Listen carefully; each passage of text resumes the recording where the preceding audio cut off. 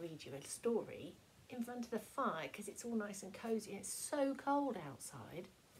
So today I'm going to read An Evening at Alfie's by Shirley Hughes. And this is Alfie here and he's he's quite a little boy. Um, and he's he's playing with his Noah's Ark. One cold winter's evening, that's like at the moment, Alfie and his little sister Annie Rose were all ready for bed. He does look snug in his little dressing gown. Mum and Dad were ready to go out. And Mrs. McNally's Maureen was in the living room. She had come to look after Alfie and Annie Rose while Mum went to a party. There they are, they're just off waving, and Alfie and Annie Rose are waving out of the window. Alfie and Maureen wave goodbye to them from the window, and Annie Rose was already in her cot. Soon she settled down and went to sleep. When Maureen had finished the story, it was time for Alfie to go to bed. She came upstairs to tuck him up and had to be very quiet and talk in a whisper in case she woke up Annie Rose. Maureen gave Alfie a good night hug and went off downstairs, leaving the door a little bit open.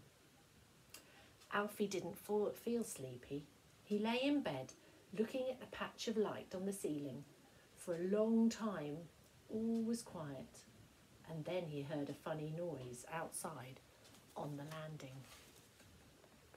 Alfie sat up. The noise was just outside his door. Drip, drip, drip. Soon it got quicker. It changed to drip, drip, drip, drip, drip, drip. It was getting louder too. Alfie got out of bed and peeped around the door, and there was a puddle on the floor. He looked up. Water was splashing into the puddle from the ceiling.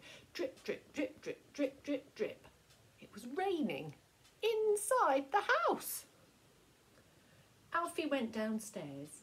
Maureen was doing her homework in front of the television. It's raining on the landing, Alfie told her.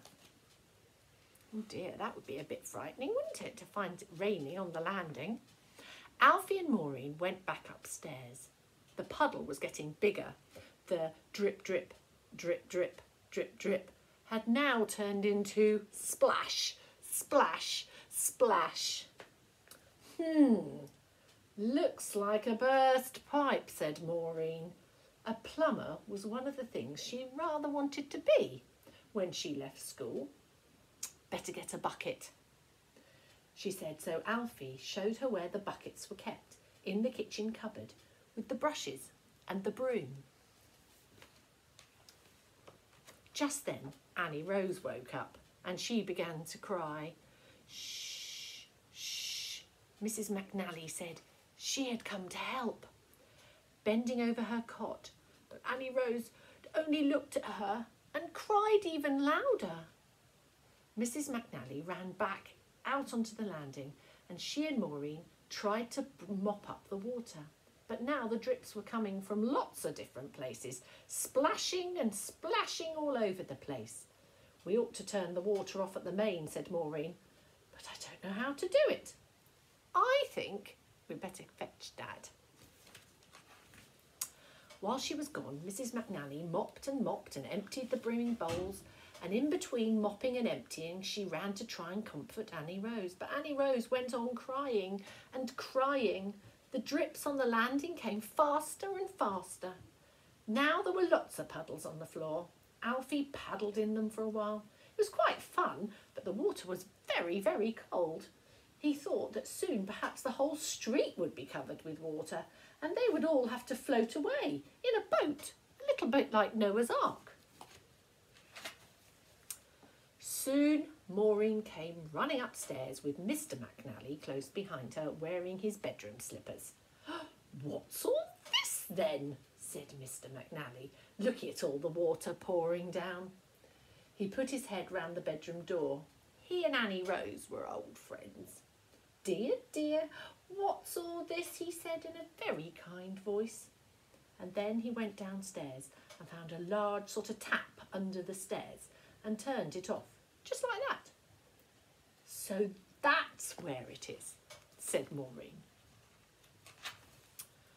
Then the water stopped pouring down from the ceiling, splash, splash, splash, and became a drip, drip, drip, drip, drip, drip, and then a drip, drip, drip.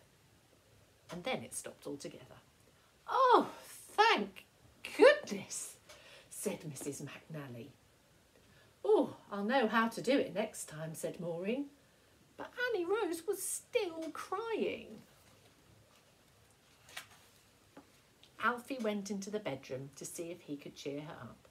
Tears were rolling down her little cheeks and soaking into her blanket.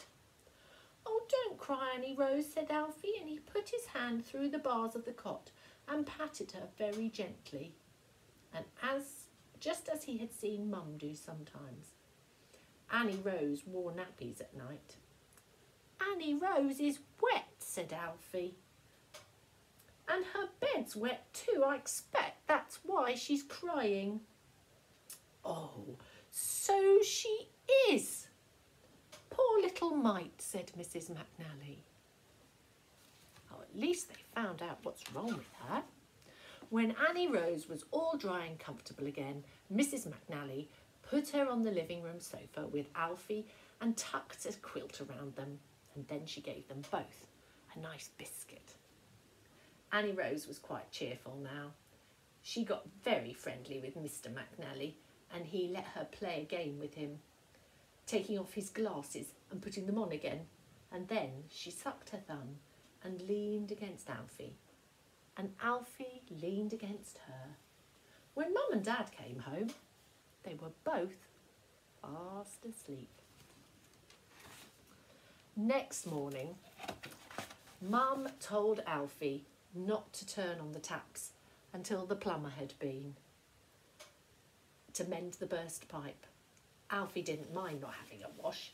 He'd had enough water the evening before to last him for a long time. That was a busy evening, wasn't it? But it's a nice end to the story. Everything happy, happy, happy ending.